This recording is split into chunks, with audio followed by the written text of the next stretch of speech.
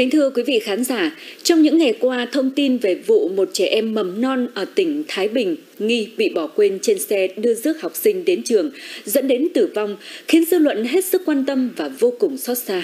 Vâng, à, sự việc đau lòng rung lên hồi chuông cảnh báo về trách nhiệm của người lớn trong việc quan tâm, bảo vệ cũng như là chăm sóc trẻ em. Đặc biệt sau vụ việc, vấn đề giáo dục trẻ em biết và thực hành các kỹ năng phòng tránh tai nạn trên xe ô tô được nhiều gia đình lưu tâm. Vâng thưa quý vị, thực tế xe ô tô khi tắt máy sẽ rất nóng bởi nhiệt độ hấp thụ qua lớp cửa kính xe ô tô. Nếu trẻ nhỏ bị mắc kẹt lâu trong xe sẽ ngạt thở vì thiếu oxy, nguy hiểm đến tính mạng.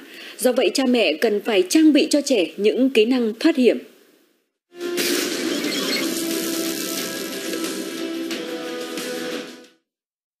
Kính thưa quý khán giả, việc một đứa trẻ bị bỏ quên ở trên xe ô tô là một điều hết sức nguy hiểm. Và khi trẻ ở trên xe ô tô một mình thì chúng sẽ chắc chắn là sẽ phải là gào khóc rồi. Và cái việc đó sẽ khiến cho cái năng lượng của trẻ sẽ bị tụt rất là nhanh. Và cái điều đầu tiên mà cha mẹ phải hướng dẫn trẻ đó chính là phải học cách bình tĩnh để tìm cách thoát hiểm khỏi xe ô tô. Hoặc là có thể tạo ra được những cái tiếng động, hoặc là những cái tín hiệu để người ngoài có thể phát hiện ra bé, để đưa bé ra khỏi xe ô tô một cách an toàn.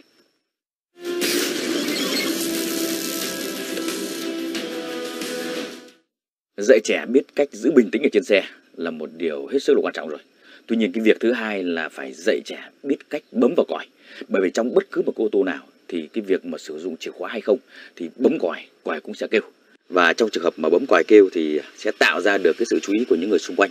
Khi đó thì người ta sẽ đến cứu trẻ thoát khỏi ô tô.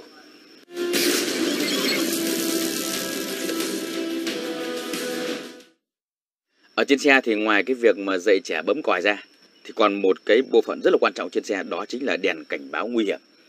Ở cái đèn cảnh báo nguy hiểm thì được thiết kế rất là rõ ràng, nó khác biệt hoàn toàn so với những cái nút khác. Và khi bấm vào đây thì các cái đèn xi nhan nó sẽ bật lên liên tục. Và khi đó thì vừa kết hợp bấm uh, còi lẫn bấm vào cái đèn cảnh báo này thì sẽ gây sự chú ý đối với những người xung quanh và sẽ uh, người ta sẽ tới cứu giúp trẻ một cách an toàn. Và đây chính là cái đèn cảnh báo. Ở trên xe này thì đèn cảnh báo được ờ, thiết kế ờ, màu đỏ. Rất là dễ phát hiện.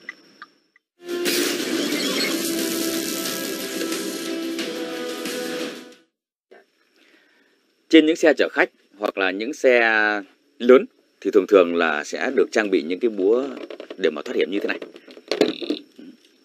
Chiếc búa thoát hiểm mặc dù rất bé thế nhưng mà chúng có cái công dụng rất là tốt trong cái việc mà đập vỡ kính của xe ô tô để có thể thoát hiểm.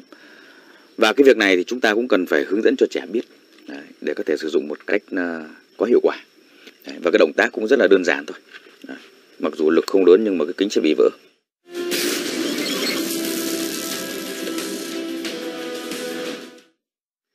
À, kính thưa quý vị, hướng dẫn kỹ năng mở cửa cho trẻ cũng là một trong số những cái điều hết sức quan trọng bởi vì đối với từng chiếc xe mà có thể là cái việc thiết kế cửa xe, sẽ có những cái sự khác biệt. Riêng đối với chiếc xe như thế này, thì cái việc muốn mở được cửa này ra, thì buộc thì chúng ta phải mở cái lẫy này. Đấy. Và khi mở được lẫy này thì trẻ có thể là mở được cái cửa này ra. Đấy. hoặc là đối với những cái xe đời khác, có thể thay vì cái lẫy này thì nó sẽ là những cái chốt lên, chốt xuống, chốt rút lên, rút xuống. Đấy. Tuy nhiên ở trong từng trường hợp thì gia đình nào có xe loại nào thì có thể là hướng dẫn cho trẻ áp dụng vào những cái xe như vậy. Và trong những cái tình huống như thế này, thì trẻ biết sẽ áp dụng được.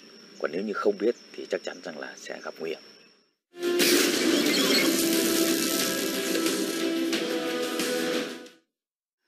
Một trong số những lưu ý đặc biệt đối với phụ huynh của chúng ta, đó chính là không giao chùm chìa khóa ô tô cho trẻ. Bởi vì đối với những đứa trẻ mà hiếu động, tinh nghịch, thì khi mà có được chùm chìa khóa ô tô, bọn chúng sẽ leo lên xe ô tô và làm những gì mà chúng thích và điều đó vô tình sẽ tạo nên những tình huống hết sức nguy hiểm. Do vậy, không giao chìa khóa ô tô cho trẻ là một lưu ý đặc biệt. Vâng thưa quý vị, hè đến cũng là dịp trẻ em có nhiều thời gian ở bên gia đình người thân. Những gia đình có xe hơi khi chở con trên xe cần lưu ý quan sát trẻ và khóa xe cẩn thận.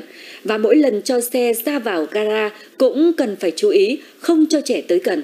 Vâng, ờ, trong cuộc sống có rất nhiều tình huống nguy hiểm luôn rình rập, nhất là đối với trẻ nhỏ. Người lớn chúng ta, nhất là các bậc phụ huynh, cần đặc biệt lưu ý, thường xuyên quan tâm con mình để tránh những sự việc đáng tiếc có thể xảy ra quý vị nhé.